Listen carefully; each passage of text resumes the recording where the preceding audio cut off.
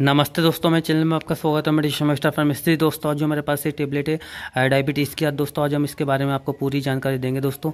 इसके यूज़ बताएँगे, इसके साइड इफ़ेक्ट बताएँगे, इसकी डोज बताएँगे, इसके कॉन्ट्राइंडिकेट बताएँगे, इसकी फुल जानकारी हम आपको हिंदी में देंगे। तो दोस्तों, इसी तरीके की दवाई की मेन जानकारी हिंदी में पाने के लिए हमारे चैनल को लाइक और सब्सक्राइब और साथ ही बेलाइकन दोस्तों, ज़रूर दबा दीजिए ताकि जो न्यू वीडियो डालें, उसका नोटिफिकेशन आपको सबसे पहले मिल सके। तो चलिए दोस्तों वीडियो शुरू कर लेते हैं। तो दोस्तों, आज हम बात कर रहे हैं गिलीमा सेव एम फोल्ट टेबलेट के बारे में बात कर रहे हैं दोस्तों। इसका कंपनी ने ब्रांड नेम रखा है गिलीमा सेव एम फोल्ट। तो दोस्तों, अब मैं बता देता हूँ आपको कि ये अलग अलग ब्रांड नेम से मिल जाती है। आपको जैनिक और इथिकल में भी मिल जाती है। और दोस्तों, इसकी जो एमआरपी होती है, मैं बता देता हूँ, ये आपको तकरीबन मार्केट में मिल जाता है। दो सौ इक्कीस रुपये छियासी पैसे का आपको मिल जाता है। इसका रेट घटता बढ़ता रहता है।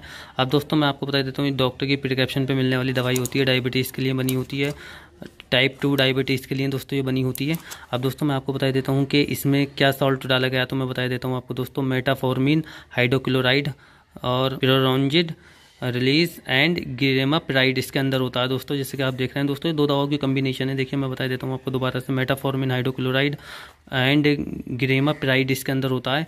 अब दोस्तों मैं बता देता हूँ दो दवाइयाँ इसमें डाली गई हैं। तो दो, दोस्तों जान लेते हैं क्या क्या चीज़ कितनी डाली गई है इसके अंदर। तो दोस्तों इसके अंदर डाली गई है गिरेमा प्राइड इसके अंदर डाला गया है फोर एम और मेटाफॉर्मिन हाइड्रोक्लोराइड इसके अंदर हज़ार एम तो अब दोस्तों मैं आपको बता देता हूँ कि इसका यूज़ के बारे में जान लेते हैं। इसके जो यूज़ लिए जाते हैं दोस्तों, वो मधुमेह में, यानी टाइप टू शुगर में इसका यूज़ लिया जाता है। जो डायबिटीज़ की बीमारी होती है, यानी शुगर की बीमारी होती है, एक होती है टाइप वन शुगर एक होती है टाइप टू तो दोस्तों, इसका जो यूज़ लिया जाता है, यानी टाइप वन जो होती है स्टार्टिंग जो शुगर होती है, बिल्कुल जो सबसे पहले आदमी को लगती है वो शुगर होती है। दोस्तों टाइप टू होती है जब सेकेंड स्टेज पर आ जाती है। और दोस्तों, एक होती है टाइप थ्री शुगर जो जिसमें इंसुलिन का इंजेक्शन लगता है तो वो टाइप तो जिसमें दवाई काम नहीं करती, उसमें इंसुलिन का इंजेक्शन देना पड़ता है डॉक्टर को। तो दोस्तों इसमें ये जो है टाइप टू शुगर के लिए बनी है। यानी कि शुगर में इसका यूज़ लिया जाता है। दोस्तों मैं आपको बता देता हूँ कि इसका मेटाफॉर्मिन गिरेमाप्राइट का आ, इसके जो साइड इफ़ेक्ट आपको देखने को मिलते हैं। जैसे कि आपको दोस्तों इसके एनीमिया हो सकता है खून की कमी हो सकती है सिर दर्द हो सकता है मतली उल्टी हो सकती है शरीर पर चकदे हो सकती हैं पेट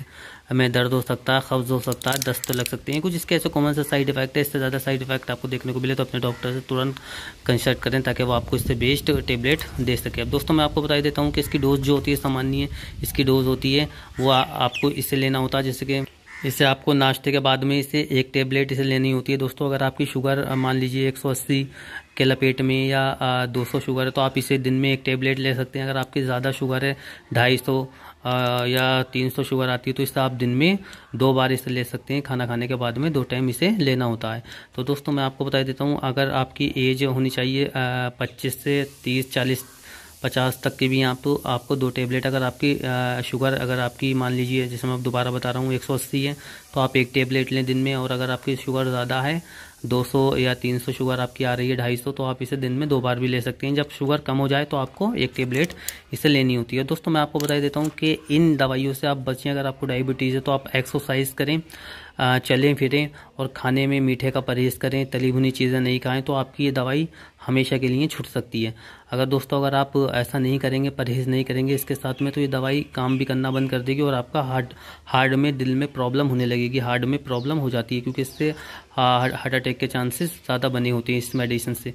तो अब मैं दोस्तों आपको बता देता हूँ कि इसके मैंने डोज बता दिया, अब इसके कॉन्ट्राइंडिकेटेड मैं आपको बता देता हूँ। दोस्तों, इसके जो कॉन्ट्राइंडिकेटेड होती हैं, जैसे कि मान लीजिए आप गर्भवती महिला, स्थान करने वाली महिला जो प्रेगनेंसी की तैयारी करती है, वो अपने डॉक्टर की सलाह से हार्ट वाले लीवर वाले किडनी वाले भी अपनी डॉक्टर की सलाह से जो बीमार होते हैं, वो अपनी डॉक्टर की सलाह से इन टेबलेटों का यूज़ करें। अब इस दवाई का, अब दोस्तों मैं बता देता हूँ आपको, जैसे कि इसका साइकेट्री डॉक्टर यूज़ नहीं लेते और दोस्तों आपको किसी मशीन पे काम करते हैं या आ, या कार चलाती हैं तो आप चला सकते हैं इसे लेने के बाद में। और दोस्तों अब मैं आपको बता देता हूँ इससे खाना खाने के बाद में ही आप लें। अब इसका जो यूज़ लिया जाता है, दोस्तों मैं बता देता हूँ मेन यूज़ जो इसका सिर्फ़ शुगर की बीमारी में डायबिटीज़ में इसका यूज़ लिया जाता, लिया लिया जाता है टाइप टू शुगर में इस टेबलेट का यूज़ लिया जाता है। ग्रेमा सेव एम फोर टेबलेट का सिर्फ़ डायबिटीज़ में ही इसका यूज़ लिया जाता है टाइप टू शुगर में। अब दोस्तों, अगर आपका कोई सवाल है ग्रेमा सेव फोर टेबलेट के बारे में तो आप हमें कमेंट बॉक्स में लिख के पूछ सकते हैं, हम आपको इसकी पूरी जानकारी देंगे। दोस्तों तो इसी तरीके की दवाई की मेन जानकारी हिंदी में पाने के लिए हमारे चैनल को लाइक और दोस्तों सब्सक्राइब और साथ ही बेलाइकन दोस्तों, ज़रूर दबा दीजिए ताकि जो हम न्यू वीडियो डालें, उसका नोटिफिकेशन आपको सबसे पहले मिल सके। धन्यवाद दोस्तों।